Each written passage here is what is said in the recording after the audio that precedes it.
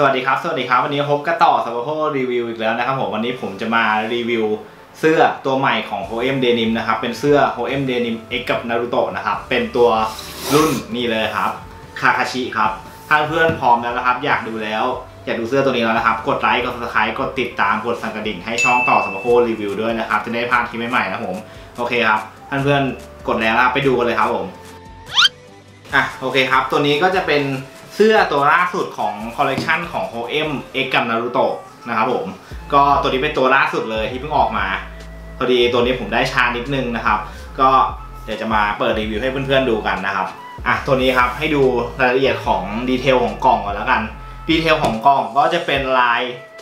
เป็นลายคาคาชินะครับในรูปแบบต่างๆนะผมแล้วตัวกล่องเป็นสีเขียวนะครับ มันออกเขียวแบบ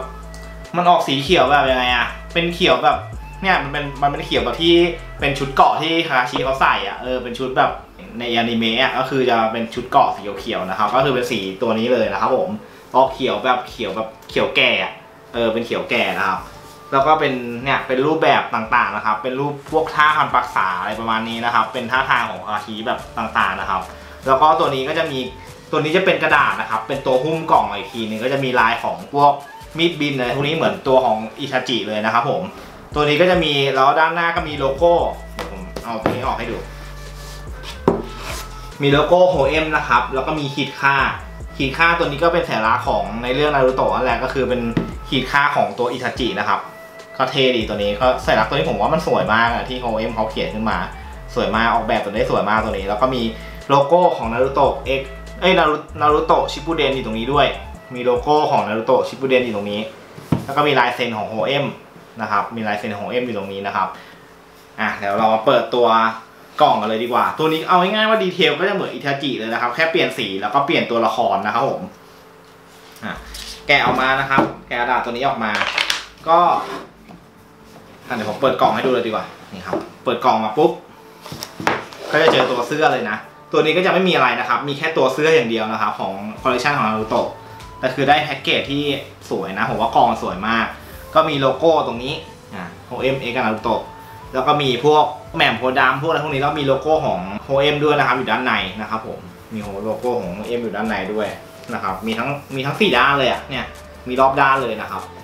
โอเคแล้วเราเปิดตัวเสื้อกันเลยดีกว่า ตัวเสื้อมาถุงของโฮเอ็มนะครับ ก็จะเป็นโฮเอ็มตัวเป็นถุงแบบใหม่แล้วเป็นถุงซิปนะครับ แล้วก็มี เป็นลาย monogram ของ Holdem นะครับคือถุงสวยนะ ผมชอบถุงรุ่นใหม่ของโฮเอ็มเขานะแล้วก็มีลายเซ็นอยู่ตรงกลางด้วย เปิดซิปออกมานะครับ ก็จะเจอตัวนี้เลยครับ นี่ตัวเสื้อคาคาชิครับอ่าตัวเสื้อคาคาชินะครับผมก็คือบอกเลยว่า detail แม่งสวยมากนะครับ สวยมาก แต่แล้วแต่คนชอบนะ ผมผมว่ามันสวยทั้งสองตัวนะ แต่ถ้าถ้าส่วนตัวชอบจริงๆแล้วอะผมชอบอิทาจิมากกว่า อิทาจิมันแบบ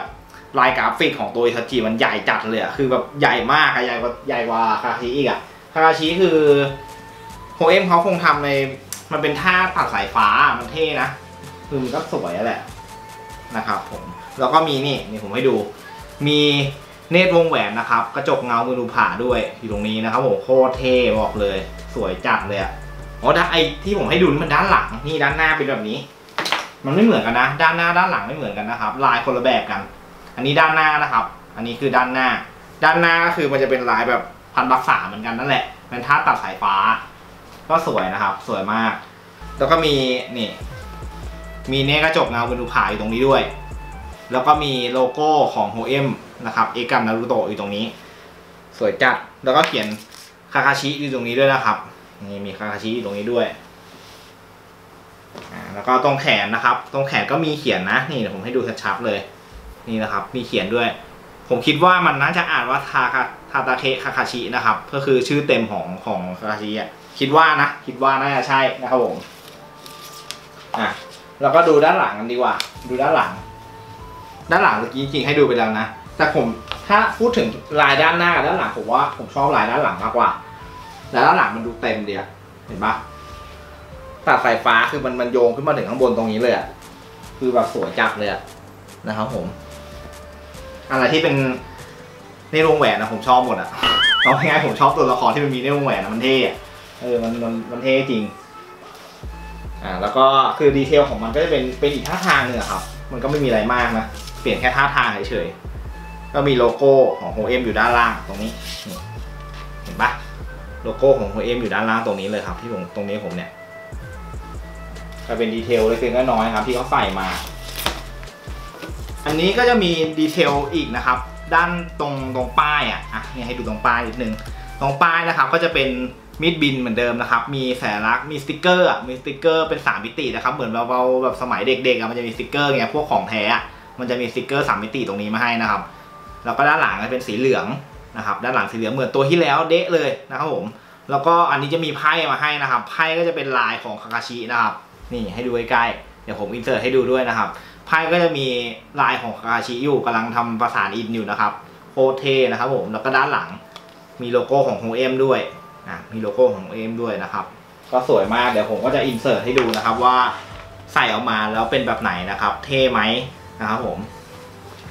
โอเคครับ ก็เดี๋ยวเราไปดูกันเลยดีกว่า Society has a